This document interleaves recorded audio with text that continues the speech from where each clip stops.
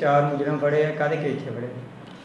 ਇਹ ਨਾ ਕੱਲ ਮਾਨਯੋਗ ਕਮਿਸ਼ਨਰ ਸਾਹਿਬ ਦੇ ਹੁਕਮਾਂ ਮੁਤਾਬਕ, ਤਾਂ ਐਸਏ ਕਸ਼ਮੀਰ ਸਿੰਘ ਨੂੰ ਸੀਕ੍ਰੀਟ ਇਨਫੋਰਮੇਸ਼ਨ ਮਿਲੀ ਕਿ ਕਿ ਬੋੜੀ ਸਾਹਿਬ ਗੁਰਦੁਆਰੇ ਦੀ ਸਾਈਡ ਤੋਂ ਨਾ ਚਾਰ ਨੌਜਵਾਨ ਜਿਹੜੇ ਆ, ਰਾਤ ਸਮੇਂ ਘਰਾਂ ਵਿੱਚ ਵੜ ਕੇ ਮੋਬਾਈਲ ਚੋਰੀ ਕਰਦੇ ਆ।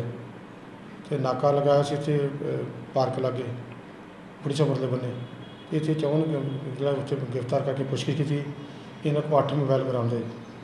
ਤੇ ਇਹ ਨਸ਼ੇ ਲਈ ਆਦੀ ਹੈ ਨੇ ਨਸ਼ੇ ਦੇ ਵੀ ਮਾੜੇ ਮੋੜੇ ਤੇ ਨਸ਼ਾ ਪਤਾ ਕਰਦੇ ਹੀ।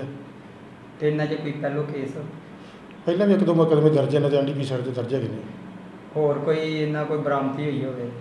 ਮੋਟਰਸਾਈਕਲ ਜਿੱਦਾਂ ਕੋਈ? ਅੱਜ ਇਹਨਾਂ ਦੀ ਗ੍ਰਿਫਤਾਰੀ ਪਾ ਕੇ ਕੋਰਟ 'ਚ ਪੇਸ਼ ਕੀਤਾ ਜਾ ਰਿਹਾ।